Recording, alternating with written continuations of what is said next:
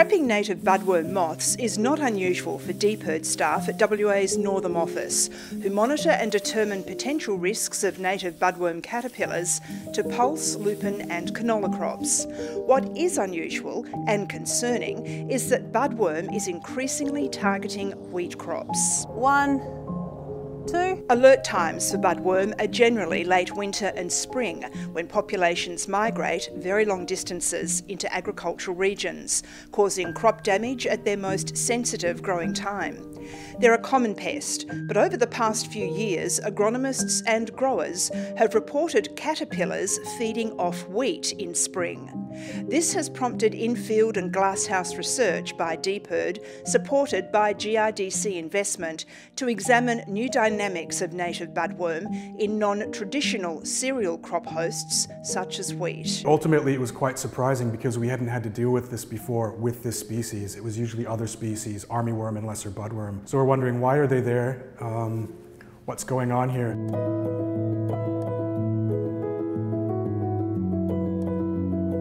Glasshouse trials are focusing on how they interact with cereals and other crop types and the behaviours of budworm larvae and moth egg laying around wheat, a non-traditional host, and known hosts such as lupin, faba bean and wild radish. Yeah, so this is a classic where the radish control hasn't been 100%.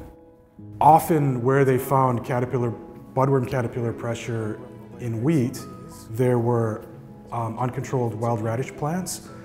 A lot of times it's just difficult agronomically to get on top of all the wild radish and wheat crop. This is actually a host of budworm, and we do know that they lay eggs uh, on wild radish, so we think that that's, that's part of the problem as well.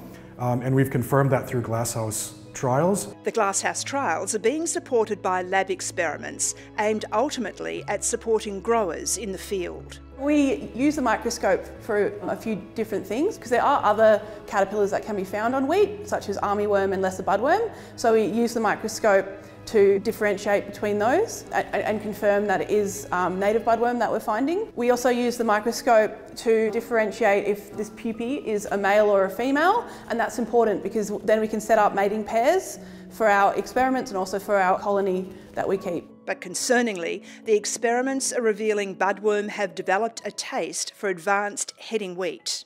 It was pretty clear there was something in the head that's attracting them to climb up and then actually feed in the glumes so that was uh, a big warning, I guess, for us. Not only were they feeding into the glumes in the seed where you're going to get immediate yield loss and, and quality problems, uh, but they were actually feeding on the flag leaf as well. Is it volunteer lupins, for example, where wheat's sown in a lupin stubble, if a grower doesn't get on top of all of the volunteer lupins that are coming through, which are a host, these budworm moths that are migrating are going to be laying eggs on the volunteer lupins, hatching, and then potentially feeding on actually the wheat, the wheat heads um, later in the season.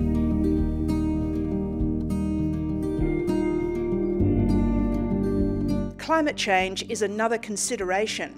Higher summer rainfall is boosting budworm food source through northeast pastoral regions, opening a bigger management window.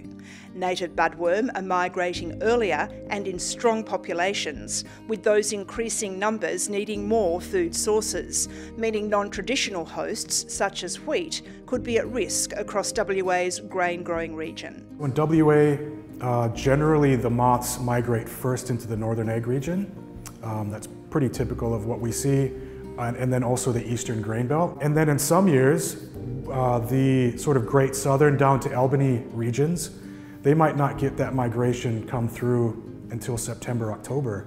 And in some years, fortunately for them, it can happen so late that they won't even have to spray. But not so much for the northern ag region and the eastern grain belt seems to get the highest pressure every year. Right now, it's a numbers game for the researchers, determining how many native budworm could impact wheat yield and thresholds for each crop before making a decision to spray, given they don't appear to lay eggs on wheat. In our field investigations, sometimes we would find very high numbers, 20, 30 in 10 sweeps but the damage was very low. So it's, it's a combination of the fact that we know that they're not a traditional host and they don't really want to be here. They would much prefer uh, lupins. um, but they will cause damage. So we, we want to see what's the worst case scenario, and then what's the general scenario that growers need to be worried about. While the research continues into exactly what level of threat native budworm poses to wheat, the advice to growers is for periodic monitoring of crops and generally in spring to walk your paddocks. They're looking for diseases as well at this time of year. Um, get your eye in and just, you're, you're looking for damage, you're looking for um, symptoms, but because caterpillars are very good at hiding is why we bring in a sweep net into the crop.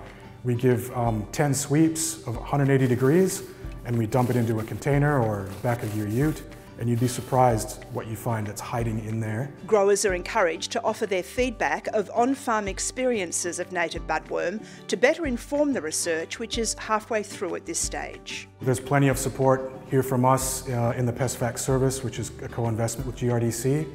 Um, so get in touch with us if you're unsure about the caterpillar, you're unsure about you finding damage in your wheat crop. Um, we'd be really interested to know.